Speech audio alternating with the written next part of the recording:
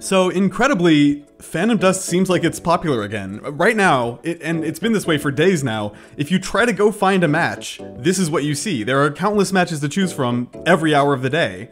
However, some players might still see this.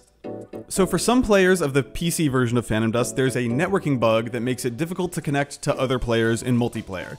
If you're having trouble connecting, open your Windows settings and go to Gaming and then Xbox Networking, and if you see the message Teredo is unable to qualify, that's the cause of your issue. Luckily, there's an easy fix, it's two steps, it barely takes a minute, and it should solve the problem for about 99% of players.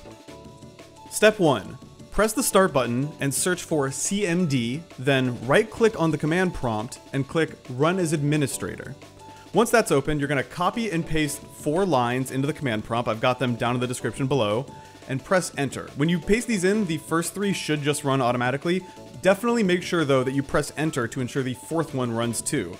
Once you see that all four of these commands have OK underneath them, you're done. You can close the command prompt. And then the second and final step, open the start menu again, search for the word firewall, and then open Windows Defender Firewall. Once that's open, on the left side, click the text Allow an app or feature through Windows Defender Firewall, and on the screen that opens, click the Change Settings button. Then at the bottom of the screen, click allow another app and either type in the following string or copy and paste it, it's also in the description below, c colon slash windows slash system32 slash svchost.exe. Again, probably easier to just copy and paste that.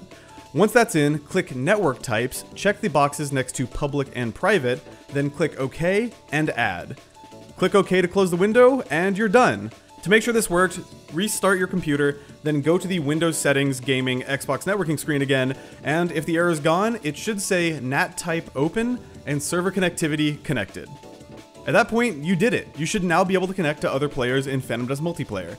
Now, if you still need help with the issue after this, or you just want to find some people to play Phantom Dust with, you can join the Phantom Dust Happy Hour Discord by going to phantomdu.st or clicking the join link in the description below.